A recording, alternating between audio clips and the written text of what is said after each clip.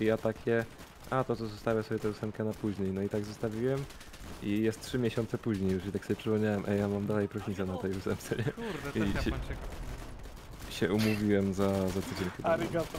Tak, tak, 18. Ja no. Jak baba, ta dentystka do mnie mówi tak.